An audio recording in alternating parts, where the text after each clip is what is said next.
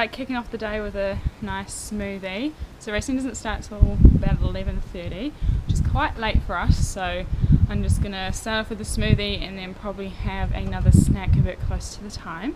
So I just wanted to run over with you what I have in my smoothie. So I tried to bring as much stuff with me from work as from work from home as possible.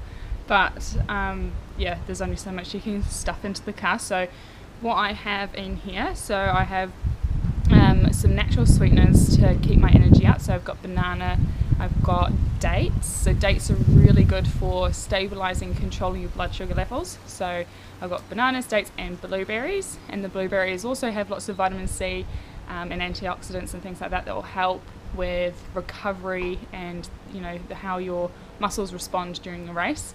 So those are my natural sweeteners. I've got spinach, and that's always a really good um, source of energy. So lots of B vitamins. It's got magnesium, which also helps for your muscle recovery. It's got calcium to help with contraction. So yeah, so lots of all rounders in there.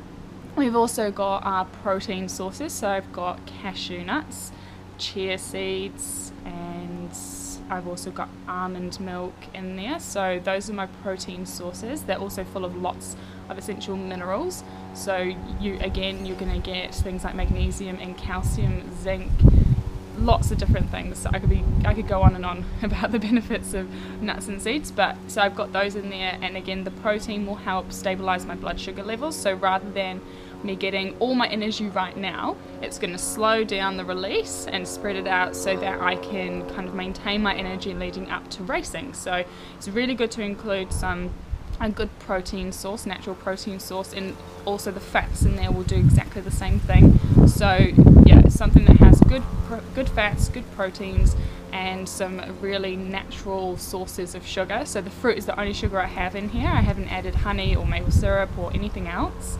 I've also added coconut water in just for the electrolytes that you can get from the coconut water. And again like I, you know I'm going to be on the beach for a long time so I will be in the sun and I'll be sweating so I'll be losing electrolytes through my sweat. So it's really important that you keep up your electrolyte balance as well while you're racing.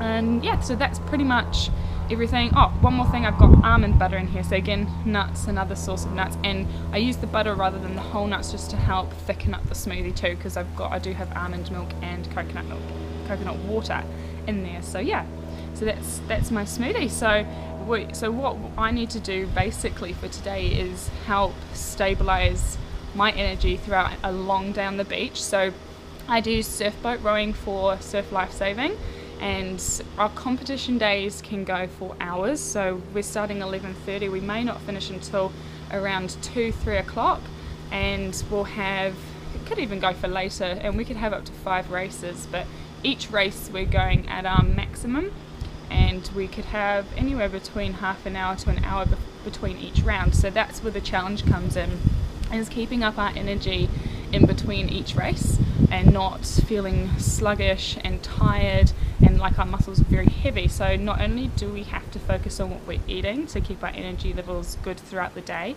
but also have some good recovery methods to make sure that our legs and our muscles don't stiffen up. So what I'm going to do today is I'm going to take you around the beach with me and give you a day in the life of me at one of my competitions. And if you're in a similar situation, then I hope you can use some of my nutrition and recovery techniques for the next time.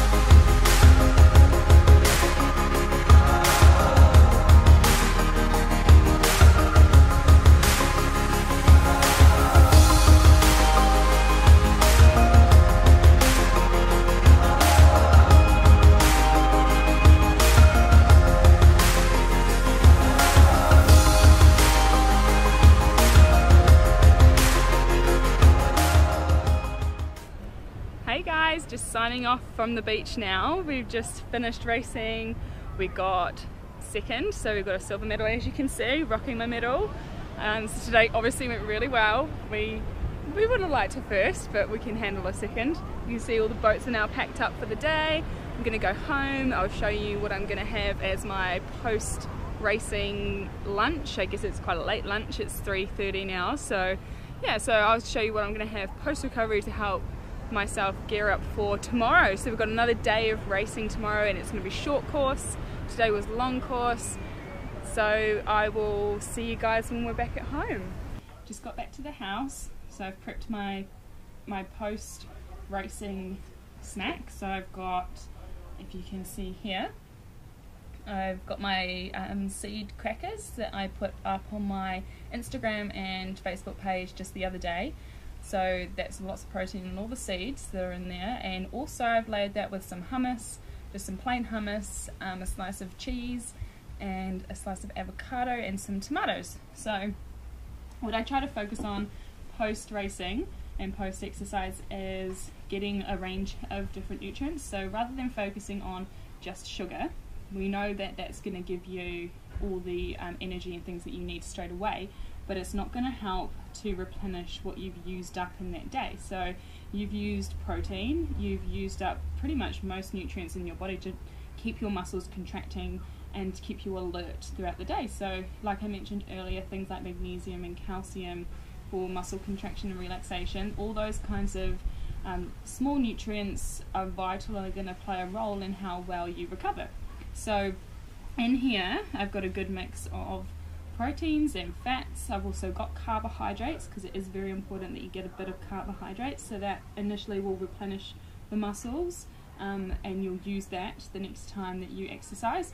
I've also got um, lots of minerals and other nutrients in here so and they're all really key and I could list them all but I would be it'd take me ages but lots of minerals so like I said before zinc, magnesium, calcium, uh, potassium, sodium, really important to get your electrolytes as well. And yeah, so that so that's just a quick snack that I'm going to have now. Um, dinner's not too far around the corner, and I will show you what we're going to have for dinner to fuel up for tomorrow. And I'm going to jump in the bath and have a nice cold bath to help with the recovery of recovery of my legs. And yeah, so that's pretty much what I'm doing at the moment. So I'm going to have my snack, have a bath, and then I'm going to relax and think about getting things prepped for tomorrow for another day of racing. Now, it's not just food that's really important when you're trying to look after yourself post exercise, um, especially for us on a big day on the beach. We've had a lot of um, sun and we, you know, it's getting really hot. It was in the we started in the middle of the day around 11:30 or mid morning, and so water. Water is another really great thing you need to keep your focus on. So you want to be having, they say, at least another litre per hour of exercise that you've done. So that can include water that you're having throughout the exercise and then you want to continue that on afterwards. So for us, we've been out there for four hours today. We weren't going, we weren't exercising straight for four hours. So for us, I would continue drinking on into the night and, and try and aim to get at least another one to two litres before going to bed. So I've also got, I've got coconut water here as you can see. So you can mix it up between normal water and coconut water. You know, coconut water has a lot of essential um, electrolytes that are going to help you replenish your muscles and also help you feel hydrated a lot quicker, which will aid in your recovery for tomorrow. So one of the things, if you're not hydrating enough, it will reflect in your performance. It will make you feel sluggish. Your reaction times won't be the same, and you won't be able to put as much effort in. So drinking water is just as important as the food that you're eating. So make sure you're getting enough water and yeah, be aware of it when you've finished exercising.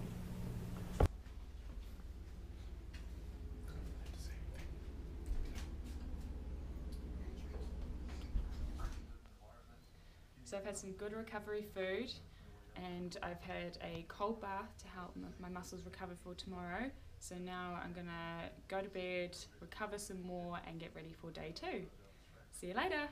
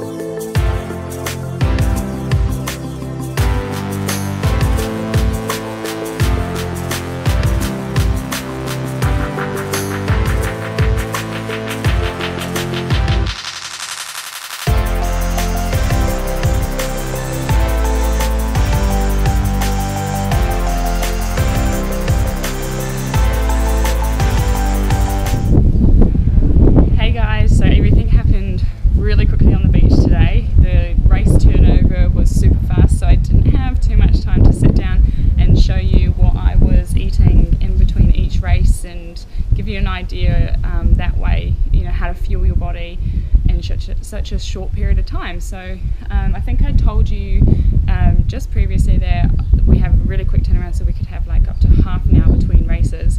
And in that time, we're helping other people with boats, and we're out in the sun. So it's really, really important we stay hydrated and we keep our energy up. So that we're ready to go 100% in the next race. So I'll just show you some of the things I did snack on throughout the day because I didn't get the chance. So one of my main go-tos are these um, Tom and Luke cacao and peanut butter snack balls. So you can see them on there. So I tend to have one of those right before, maybe like 10 minutes before my race is about to start. So it has, it's, it's high in energy, so high in sugar. Uh, good sugars though, which is the good thing about these. So I know I'm going to have a faster release of energy when I need it. So that is one of my big go-tos. Uh, so and then I do when I get the chance snack on something that's a little bit more dense, more protein kind of fat based, and that will keep me my know some energy in the tank throughout the day. So I have so if you see me on Instagram and also on um, Facebook, you'll see the homemade granola that I made. So I've been snacking on that, and I also had that pretty much straight after all the racing had finished. It was something really easy I could grab out of the bag and I could start eating straight away and I was getting protein and good fats to help my recovery. So that was one of the things I had post. Uh, another good thing for during the competition was just to snack on a banana, but I also combined it with some peanut butter. So you can just have the pieces with peanut butter. It's really simple, not you know you don't have to overthink it, and it's easy to take down to the beach. So I had that. So that's another good idea. And also on top of the food, so I didn't actually have too much in terms of food in between, just because we don't have a lot of time to sit down and just eat and snack. So it's really important that you don't feel full and heavy going into your next race. So it's a very um, very tactical in the way that you eat on these kind of competition days, and you might find that in different sports you can apply this as well. So I had to, so I stuck to the snack balls and I stuck to the peanut butter and banana for during the day, during the racing.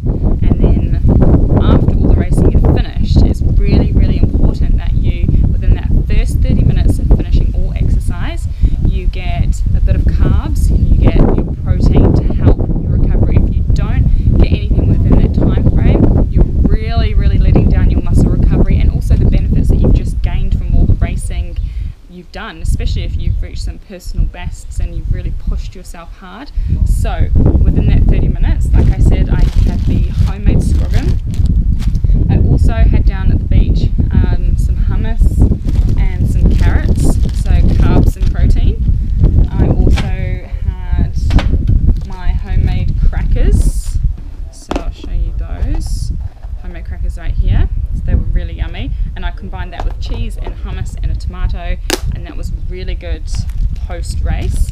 So I had that, and then I also had on standby because you just never know what you're going to feel like or what you're going to grab. Was some other crackers, so these brown rice crackers from Ceres Organics. They are delicious. Very strange flavour, green tea and seaweed, but surprisingly I find them a really tasteful combination. And the brown rice um, will have lots of energy in it, but slow releasing, so you won't feel that peak of energy and then come back down again after having, like after having white rice. So white rice is more of a, a fast releasing food, so the brown rice is slower. Um, so to help you just get back on top of your energy levels and helping you recover. So those are some of the foods that I have after um, my competition, and then when I get home, I'll have something a bit more substantial. So I had um, so I, I had like a salad and that prepared to have with some meat when I got home, and then I'll have a break. So just a small meal, and then I'll have dinner later and make sure I have a good decent dinner before I go to bed. So that, those are kinds of the foods that I have on a competition day, and the other big important thing intake. So for us, we were out in the sun all day. We were losing a lot um, of water, so we have to keep on top of our hydration. And so I think throughout the day, I probably had three to four liters of water. There's a lot to have in the space of what time did we start? At 12 o'clock. So two and a half hours, I had three to four liters of water. That's how hot it was and how much I was using up. But you need to keep sipping and hydrating so you don't feel that dry feeling and you don't lose focus and concentration. And you can give your absolute all when it comes to performance time. So, what I did combine to my water to help me uh, recover and to perform was this Elete. Um, it's like a, it's almost, it's like an electrolyte fluid, so you can see that one there add so many drops to my, my water and it's got all the electrolytes that you need. So it's got magnesium, chloride, potassium, sodium, zinc and sulfate, but there's absolutely no sugar at all.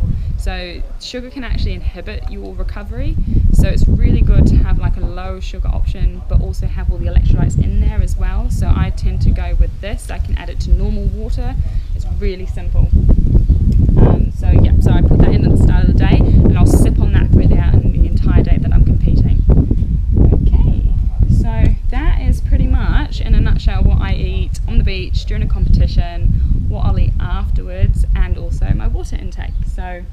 And one thing I forgot to mention last night when I was doing my recovery is that after having my cold bath and after having a good meal, I will put some magnesium. So you can see here, I've got a vlog on magnesium and the benefits of magnesium. So if you're interested, go over and have a look at Solely Nutrition on YouTube.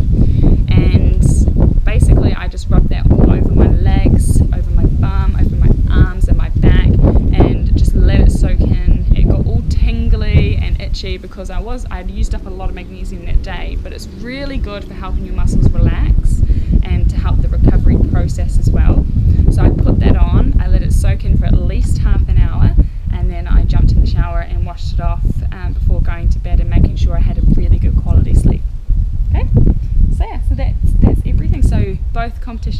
complete. We've come away with a silver medal. We did really well today, didn't get a podium position, but we're very happy with our performance. So we're just going to keep pushing, eating well, training well, and keep our heads in the game until Nationals in March. And I will be taking you guys along with me, so hold on till there.